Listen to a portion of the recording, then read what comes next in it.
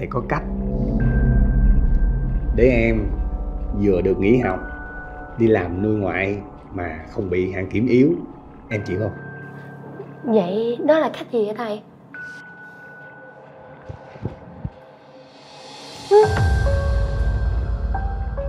quyết định là quyết định của em. Thầy chờ tin của em. Em chào thầy.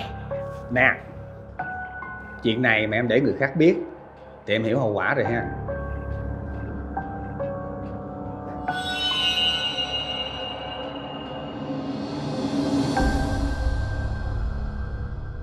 Đúng 9 giờ tối nay tại khách sạn hoa hồng nha.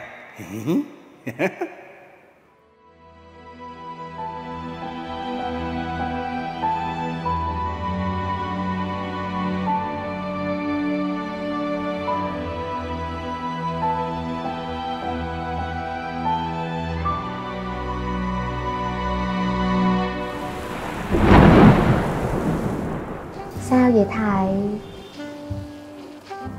cho em nghỉ hoài. Cái em nghĩ muốn nghỉ luôn vậy đó. Lên lớp không có thấy em. Nhớ muốn chết luôn. Thôi, bây giờ có em ở đây rồi mà ha. ừ, bây giờ mình tranh thủ như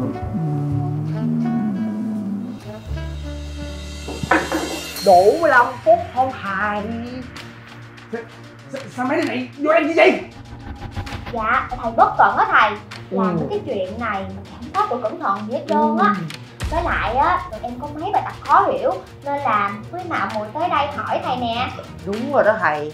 Thầy chỉ cho tụi con với. Ừ ông hành chỉ dạy gì thì lên trường và hỏi chứ tự nhiên lũ vô đây. Thì tụi em muốn học với nhau mà thầy muốn dạy đó. Rồi, nghiêm túc đi.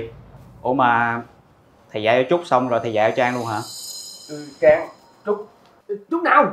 Thì cái chốt này nè nạn nhân của thầy đó. Ôi bậy à bằng chứng bằng chứng á.